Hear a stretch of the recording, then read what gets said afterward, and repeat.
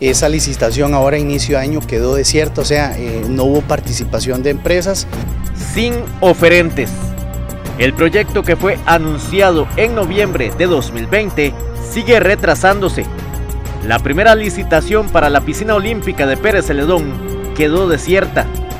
Ahora se trabaja en un nuevo cartel. Están haciendo los ajustes del cartel, de qué fue el detalle, inclusive hasta la misma consulta de algunas de las empresas que en su momento solicitaron cartel y que no participaron para volver a hacer los ajustes y volver a sacar la licitación, volverla a presentar al Consejo Municipal para su debida aprobación. El nuevo cartel tendrá que ir primero al Consejo Municipal para su aprobación y luego subirlo a la plataforma de SICOP yo espero que en un par de semanas pues ya pueda estar nuevamente subida esa licitación para, este, para pues continuar en ese proceso y que en esta pues sí tengamos este oferente. El retraso es notorio en una obra de gran expectativa. Pues ya para estas alturas más bien deberíamos haber estado ya eh, con la formalización de contratos este, y ya pensando en, la, en el inicio de las labores. ¿verdad? Esto visiblemente nos va a retrasar. La piscina olímpica para Pérez Celedón sigue esperando.